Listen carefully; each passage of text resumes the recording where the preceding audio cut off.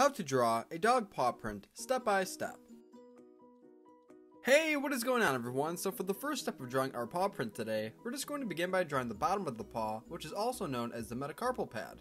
This will be the largest shape that we make of our dog print today, and if you're new to the channel, then welcome. We upload new step-by-step -step drawing tutorials on a regular basis, so if you're looking for a new place to draw, then you're in the right spot.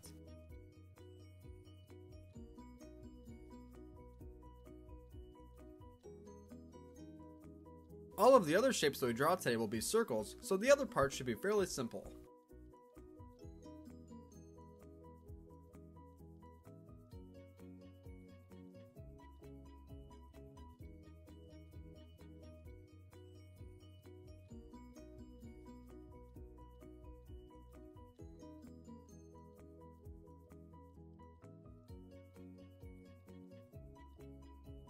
Nice! Now once we're all done drawing the metacarpal pad, the next step will be to draw the toes. In total, we're going to make 4 toes, which will all be made by making small circular shapes.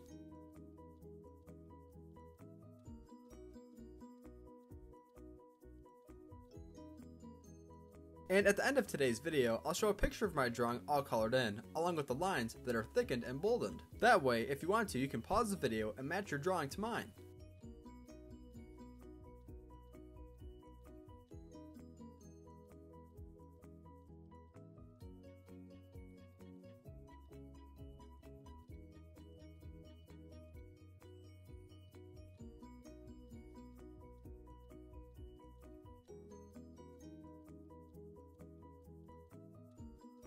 This is how to draw a dog paw print. Thank you for watching on How to Draw Hub. If you enjoyed today's video, then be sure to give it a big like by hitting the thumbs up button right below. And next I'll show a picture of my drawing all colored in. So don't forget, great job today and thank you for drawing with me. See you next time.